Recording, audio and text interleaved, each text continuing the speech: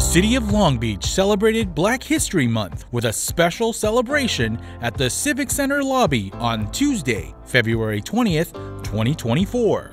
The event featured food, musical, and dance performances that were complemented by video imagery in the Civic Center's lobby, highlighting the contributions of prominent African Americans that have contributed to black culture. Today we had our annual Black History Month celebration. Uh, it was put on by the Black Employees Association and it was sponsored by our various council districts, the Port of Long Beach, and the Utilities Department. It's important that we highlight the culture and the significance of African Americans within the city of Long Beach, uh, and this year's theme was highlighting arts and culture. Miss Helena Donato Sapp, she's uh, one of the poet laureates the inaugural for the city of Long Beach, and she was just fantastic. She prepared an original poem for us today, and I think everyone was so excited to hear from her, and really the youth are our future. I am the heart of teaching. I am Bell Hooks. I am Bettina Love. I am a writer and a scholar. I am Helena Donato Sapp. I am every black girl. We are bold, black, and brilliant. Black History Month gives us an opportunity to look back and reflect because there's a whole lot more work to do.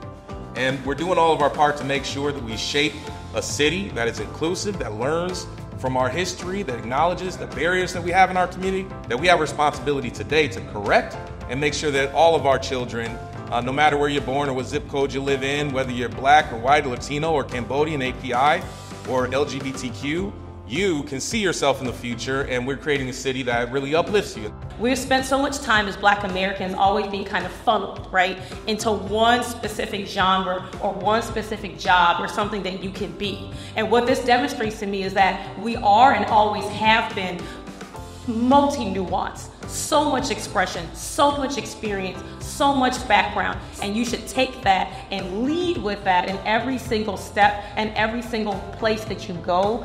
I'm a descendant of enslaved people. Uh, my family were, were domestic workers and auto workers, and these experiences are not unique to my family, but these are experiences that are shared by many, many black families across this country.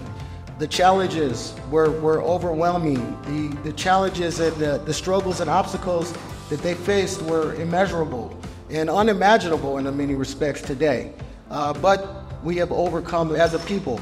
I think you should expect to see something much bigger. We want to expand. We've already heard from some of our uh, attendees this year that they want to take part of the program as well. So we look at this as expanding, and you will see this event again in 2025 and years to come. For more information about events like this one, please visit the city's website at longbeach.gov.